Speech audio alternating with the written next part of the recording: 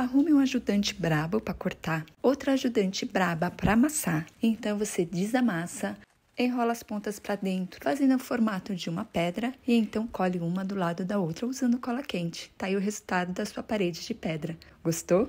Comenta aqui o que, que você achou e o que gostaria de ver aqui nesse perfil.